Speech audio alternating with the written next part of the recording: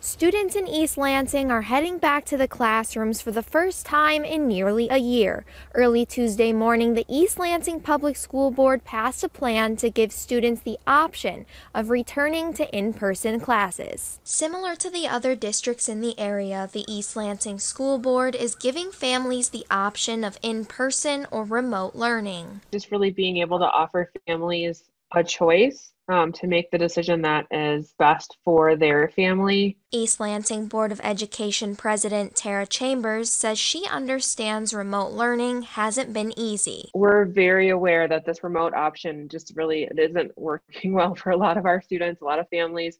But up until this point, the remote option was really the safest option. Which is why the board passed this plan. This plan that we're presenting and that we're recommending tonight is really based on the premise of offering families choice. On February 22nd, students in pre K through fifth grade will have the option to begin in person instruction.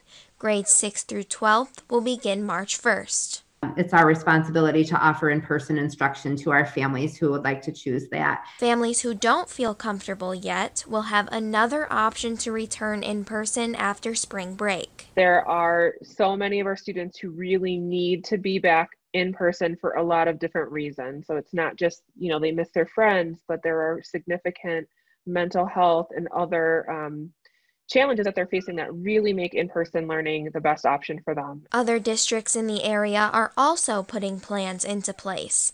In Williamston, some in-person instruction is already going on, but they plan to bring in more students. Haslett will begin in person teaching with small groups February 1st.